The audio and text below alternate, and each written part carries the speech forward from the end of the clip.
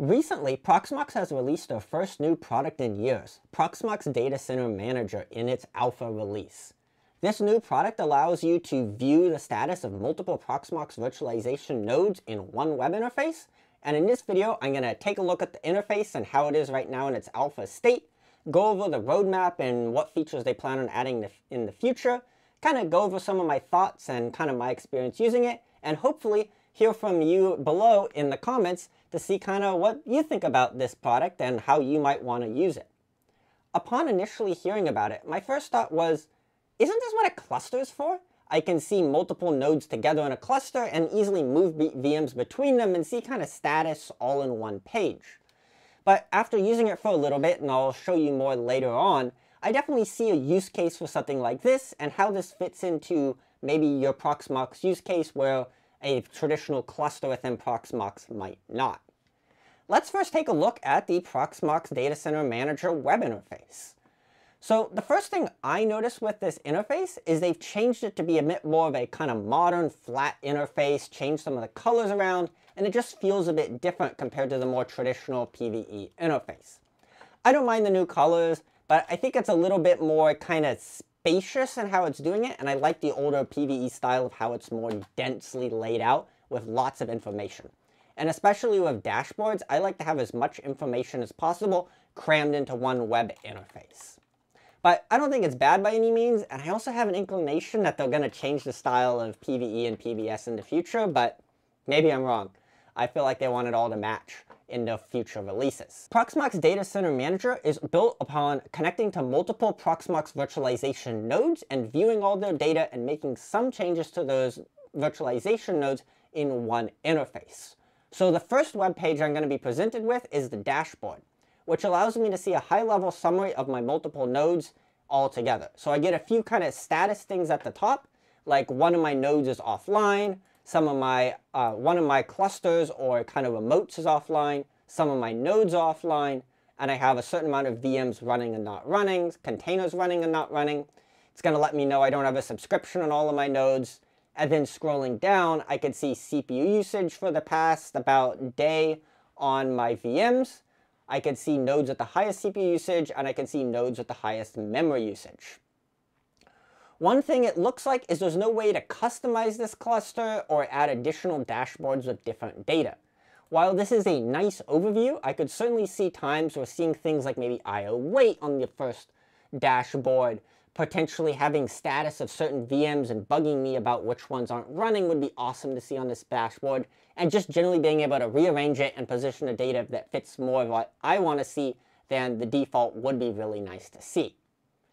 Notes is like what they have in Proxmox virtualization, where you can add notes specific to things. It's kind of like a little text editor in the browser. It's there. Configuration and administration with those subcategories is all about the Proxmox Data Center Manager and allows you to manage the system like setting time, IP addresses, certificates, managing updates, going into the shell if you want to make more changes, and more. One interesting thing I notice here is it looks like the three-letter acronym for Proxmox Data Center Manager is PDM. So instead of being like PVE for Proxmox Virtualization Environment or PBS for backup, it's PDM here. Taking a look at the shell, and I've poked around with the system a little bit, it's very similar to other Proxmox releases. It uses the same installer as current releases of Proxmox Virtualization, and it uses that same Debian under the hood with the newer kernel. I also poked around in slash etc slash proxmox data center manager, which is where they keep all the configuration here. I did take a look at how they're doing authentication, and it looks like they're going to be using tokens here, so it's not super easy to steal the authentication and do like a replay attack if you wanted to. And I can CD and, and I can, for example, less the remotes file and see how they're setting up all the configuration. Everything here initially appears pretty sane and generally like how they've done other Proxmox products in the past.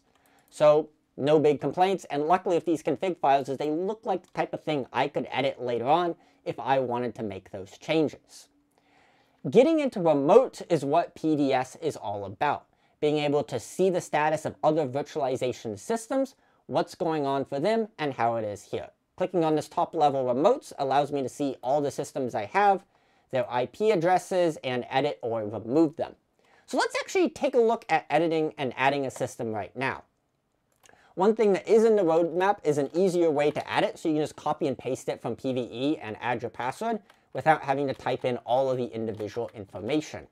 And since it wants to have the full certificate information, that means you have to um, go in your Proxmox virtualization environment and then go into certificates and copy and paste the fingerprint here that hopefully would be a little bit easier with less steps.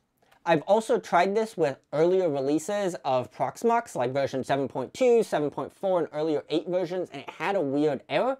So I would say if you're gonna try using Proxmox Data Center Manager, make sure you're running a fully up-to-date version of 8.3 Proxmox Virtualization, because otherwise you run into some problems, and with an alpha product, probably running the latest of everything else. So I can set a name for this system, log in and create a token, or use an existing token and just standard Linux login or standard Proxmox login information. And then if I hit add, I can add my node to the available remotes that I have visible here and have a new Proxmox virtualization system available. I actually couldn't add this system I was using as a demo and I'll explain a little bit more what I was trying to do in the future. But let's just take a look at an example system and see what information I get. Immediately here on the left-hand panel here, is information about the cluster or data center view within, Proxmox. It's very similar to this summary tab right here. So I can see how many nodes I have in a cluster, how many guests are running, usage on the system, allocation, and VMs that are running or not running. And I can also, for example, start one of these VMs that isn't running right now, and it'll start it up, or it could stop a running VM and send the shutdown command. On the right-hand side, I have information about the node. So that would be like on one of these systems going under a node name and then going under summary. So I can see that individual node CPU usage, load average, memory usage, root file system usage, and a bit of graphs about its usage over the last, it looks like, hour. What happens if you have multiple nodes within a cluster?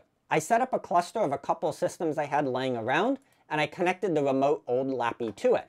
So I can see I have old Lappy visible here with all of its information, but can also select and view the information of the other nodes available in the cluster. And when I go to my dashboard tab, I can see I have five nodes, two individual systems in the remotes, and a third remote with three systems, so for a total of five. Now the issue I had and what kept me from adding that additional node a little bit ago was that it looks like when the node or remote you're connected to goes offline, you can't access any of the other systems. My initial thought was maybe I'll just add one of those systems as an additional remote here as a backup, but since that token is already made and registered in the cluster for this system here, it can't add it as a second node.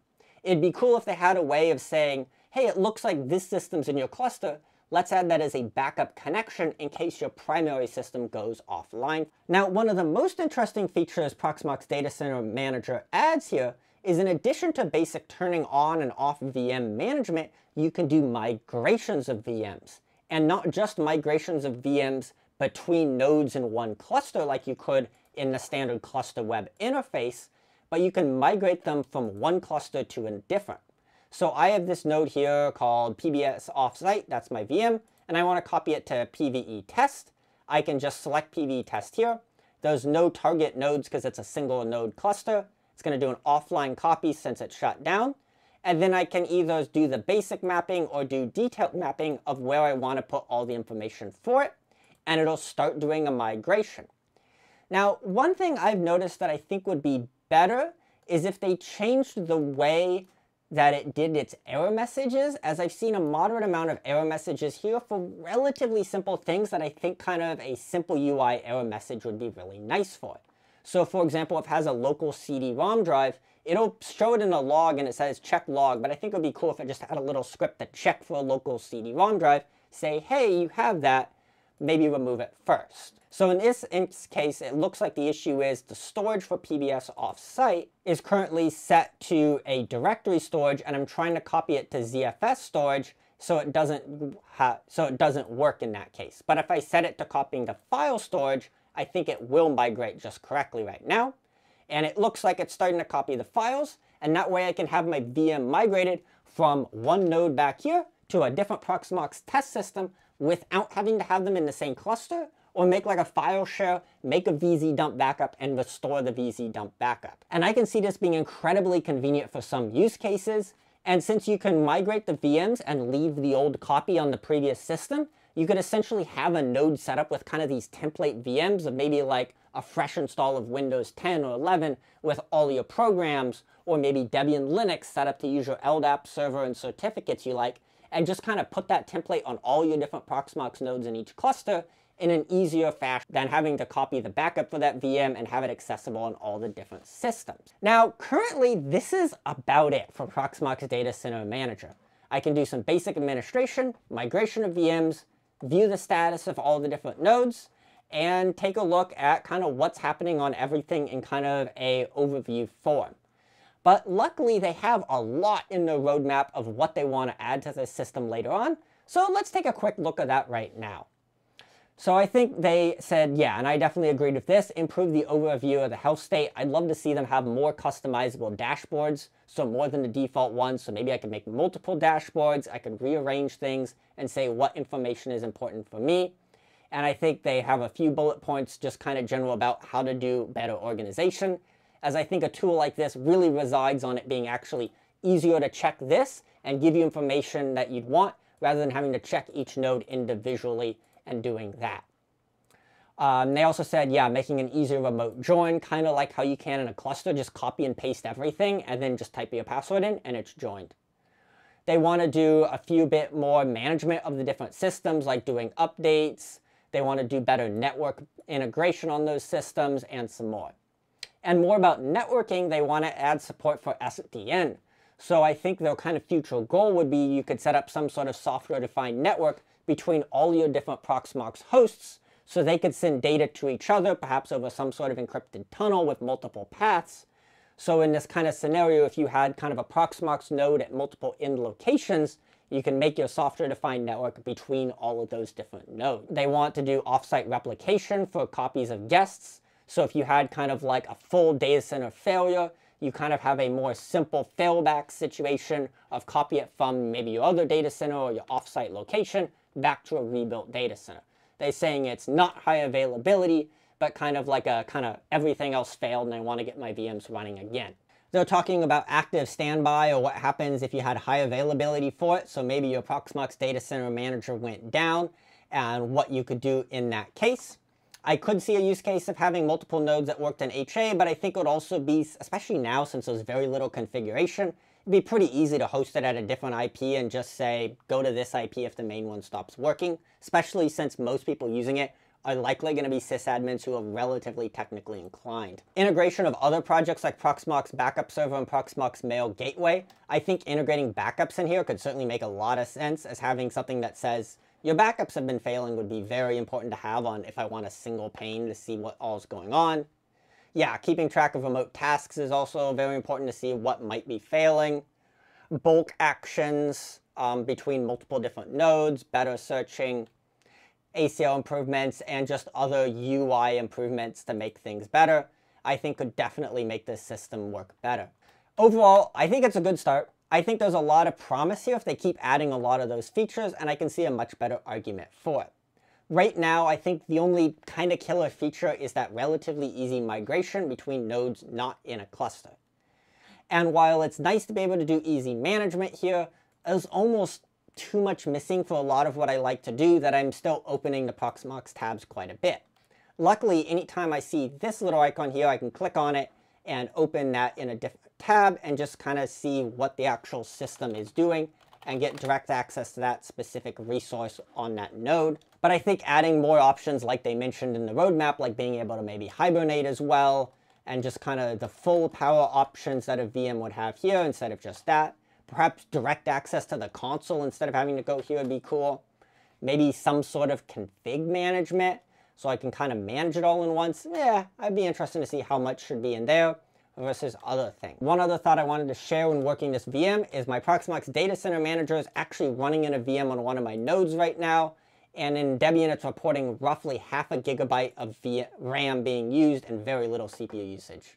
So during this video, when I've been playing around with it, it's been peaking at what, like over a little bit over a percent CPU usage maximum. Even in peak, it's very low. Yeah, 430 some megs of RAM used.